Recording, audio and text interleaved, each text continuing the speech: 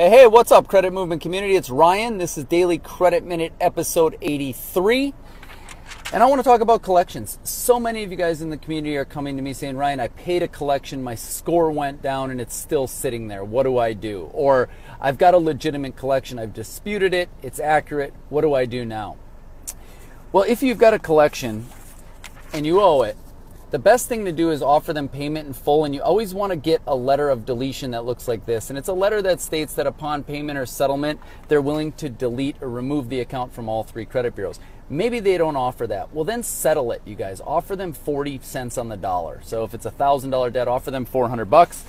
After it's paid, they've got very little incentive. So dispute it, identify an error, and dispute it with the credit bureaus. This is what the results look like from TransUnion when you do that all these collection agencies deleted. Equifax looks like this. So they show that they've reviewed the account and they've agreed to delete it and remove it from the credit record. So you guys understand how to attack your collections. If you owe it, pay it in full and get that letter of deletion. If they don't offer the deletion, settle it, identify an error, and dispute it on the back end. I hope this helps you guys out.